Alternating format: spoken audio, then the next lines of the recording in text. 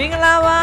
တပီတို့ခွဲတာတော့ Harmonious Girl ခွဲဖြစ်ပါတယ်ရှင်တပီတို့ခွဲတာတော့အထက်ကနေနေမှာတော့အောက်ထပ်သူရလာတော့စံကိုစားပြီးပါဝင်ရှင်တဲ့အဖွဲ့ပဲဖြစ်ပါတယ်ရှင်မင်္ဂလာပါကြားရအောင်မင်္ဂလာပါ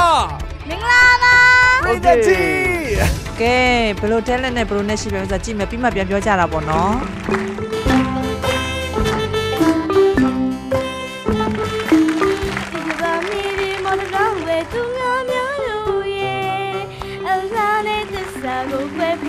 မောကြတယ်တကယ်မပ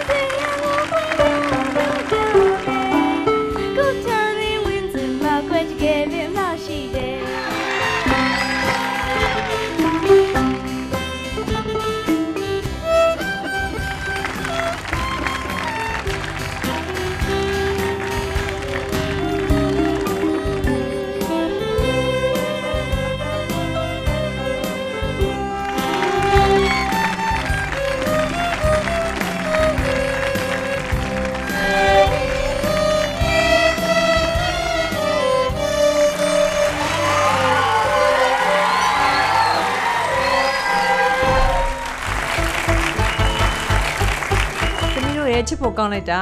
ကဲအဲ့တော့ဥတီရဲ့ comment နားထောင်ကြည့်အောင်တရောထိုးတာတကယ်မလွယ်ဘူးမြန်မာအော်ကက်စထရာလေးပေါ့နော်ချစ်စရာကောင်းပါတယ်တော်ကြပါတယ် talent ဘိုင်းမှာတော့အမအမြင်ပေါ့နော်ဟိုဒီတူရီယာတစ်ခုတိုင်းစီမှာအားနည်းချက်တွေရှိနေတယ်အရန်ပြေးသွားတဲ့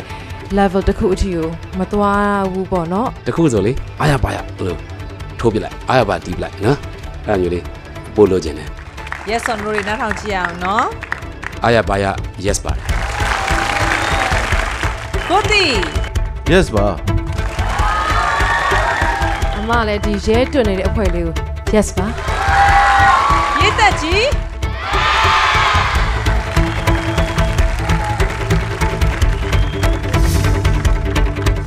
ကဲ